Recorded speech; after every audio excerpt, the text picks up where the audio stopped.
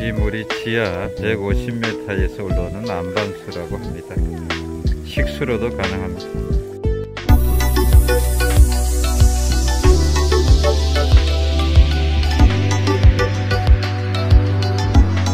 왔다 와서 지내기 왔답니다 왔다는 경기도 파주시 교화로 681번길에 있는 심악산의 약청사를 찾아가고 있습니다 심악산은 높이가 194m로 그렇게 높지 않습니다.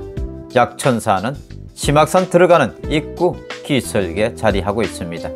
거의 심악산의 약천사에 도착을 하였습니다. 주차장에 주차를 하고 지금부터 심악산의 약천사를 쭉 둘러보도록 하겠습니다. 심악산의 야청사는 고려시대에 남아있던 절터에 1932년에 중창을 하였습니다.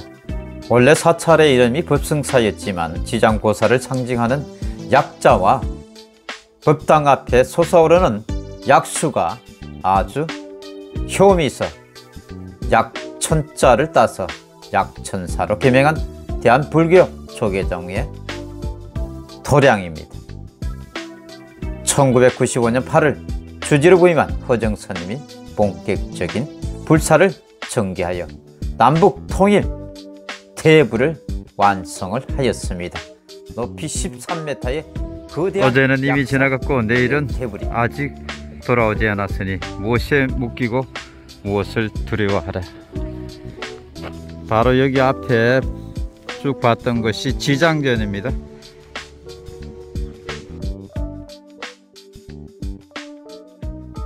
지금부터 지장전 내부를 보도록 하겠습니다. 아래에 있던 주차장에 주차를 할 때는 이곳 지장전에 법당이 2, 3층 이상 되어 보이는 위치에 있다고 생각됐는데 돌아서 정문으로 돌아오니까 바로 1층으로 들어갈 수가 있습니다. 외부에서 봤던 것하고는 굉장히 차이가 있습니다. 굉장히 법당이 큽니다. 원래 자그마한 법당이 있었는데 이것을 2001년에 큰 법당으로 만들었다고 합니다. 시장전 주변과 요사체를 쭉 보고 있습니다. 지장전 앞에는 이렇게 큰 뜰이 있습니다. 그리고 앞쪽에 포대 화상의 불상이 보입니다. 큰 덩치로 많은 사람들에게 우승과 포용을 주시는 선임으로 기록이 되어 있습니다. 자신의 소원을 담아서 기록하는 곳도 있고요.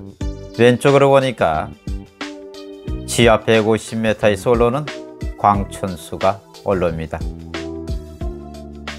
일금사에서 식수 적합 판정을 받았다고 할 정도로 깨끗한 물이라고 합니다.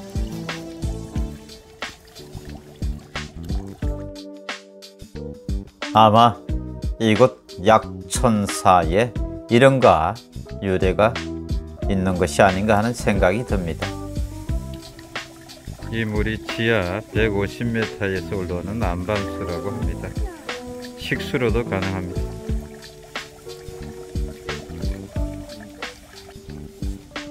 이제 바로 뒤쪽에 있는 남북 통일 테이블이 있는 곳으로 올라가 보도록 하겠습니다. 희망산의 약천사 단풍이 가득 들었습니다. 지장전에서 약천수를 지나서 이제 대불 쪽으로 올라왔습니다. 약천사의 청동 테이블이 바로 앞에 보입니다. 남북 통일 대불이 바로 눈앞에 있습니다. 많은 사람들이 기도를 드리고요. 남북 통일 대불에 오른쪽에도 이렇게 건물이 하나 있습니다. 손님들이 사용하는 곳인 것 같습니다. 이제 통일 대불 코앞까지 왔습니다. 아 거대하네요.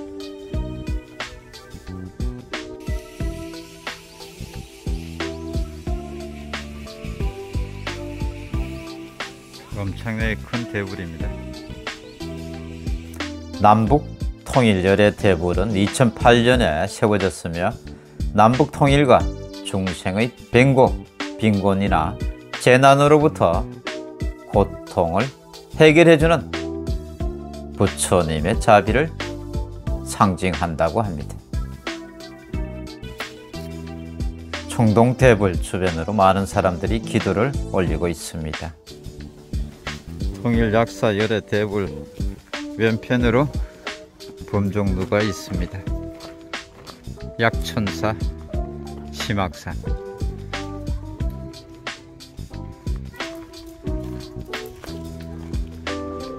민족화합 남북통일 범종이라고 되어 있습니다. 청동대불과 범종루를 보고 이제 대웅전으로 향하도록 하겠습니다. 대웅전입니다. 가을 단풍이 멋있습니다. 작은 건물인데 여기가 대웅전입니다. 계단으로 되어 있고요. 한번 올라가 보도록 하겠습니다. 이렇게 약사 열의 대불이 바로 옆에 있습니다.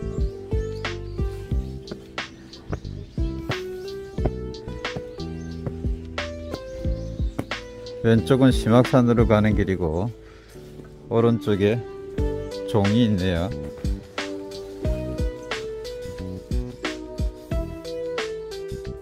오늘은 경기도 파주시 교화로 681번 길이는 심악산의 약천사를 찾았습니다.